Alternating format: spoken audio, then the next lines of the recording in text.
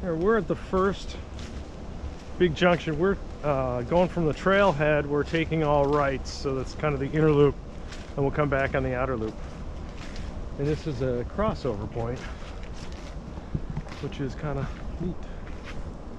So what is this sign? Oh, look at that. Yeah, so I guess we continue towards the research station.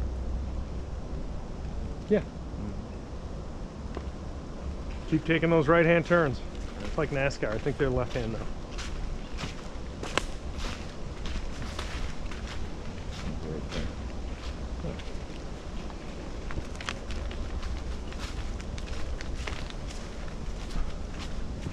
Well, it rained pretty hard last night, so everything's just a little wet.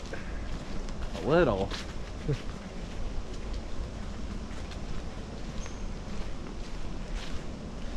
A little. I almost sank into the ground. That's right, you did.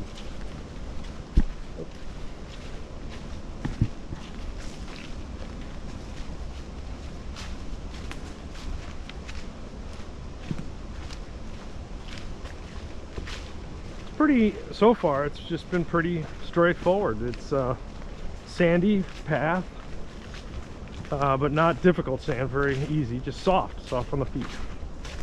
Not a lot of ups and downs. Yeah,